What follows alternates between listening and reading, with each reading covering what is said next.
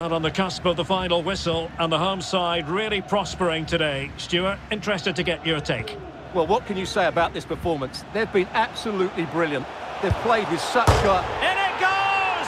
He's made it a brace for himself. No stopping him, apparently.